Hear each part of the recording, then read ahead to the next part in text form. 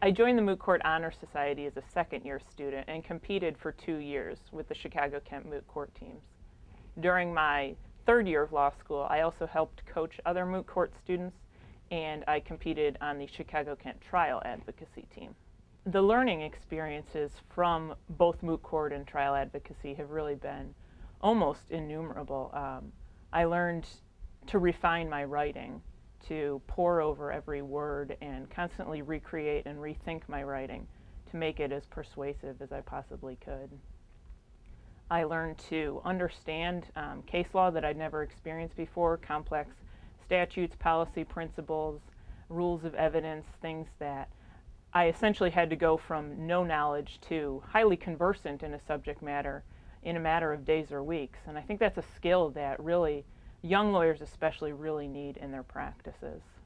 I also had the experience of advocating in front of highly accomplished jurists that even really experienced lawyers often have not had the opportunity to appear in front of.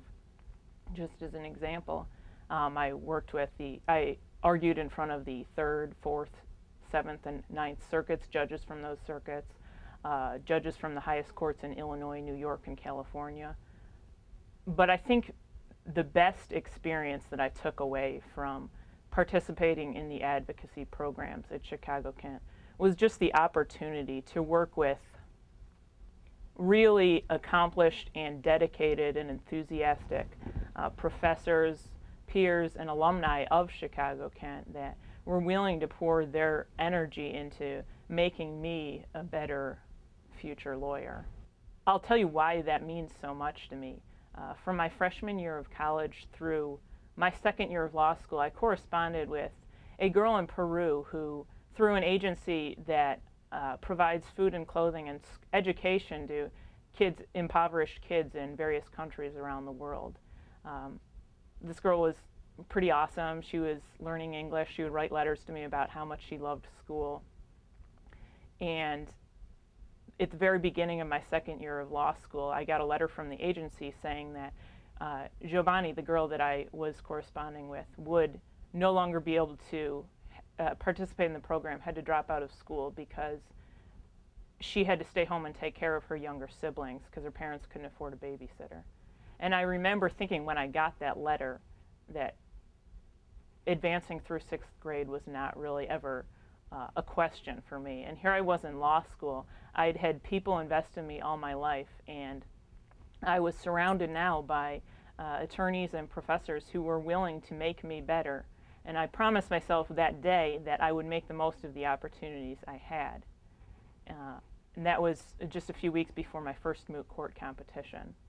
And when I walked up to the podium a year and a half later for the final round of our national finals in the National Moot Court competition, I had that same promise still running through my head.